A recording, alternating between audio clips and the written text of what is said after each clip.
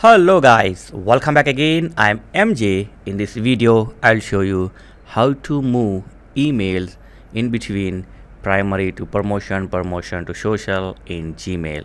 First, I will show you in desktop and then I will show you how to move in your phone. So for example, I have some mail in the social and I want to, this mail will come into my primary, okay?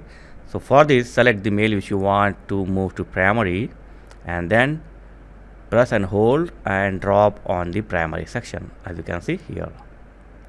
And you will get the message conversation moves to primary do this for future messages from all. Okay that's mean from now onwards all mail from this email will be on primary okay?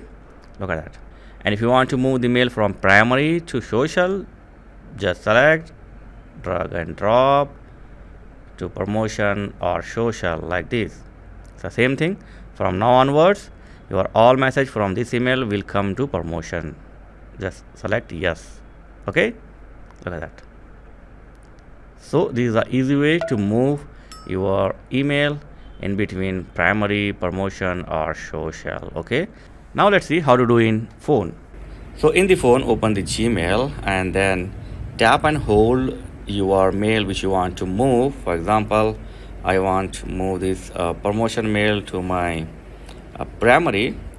So select the mail which you want to move in between primary or social or promotion.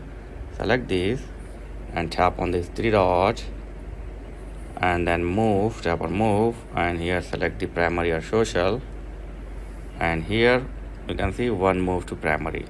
So that's mean from now onwards all email from this email address will be in primary okay so is a way to move your email in between primary to promotion to social.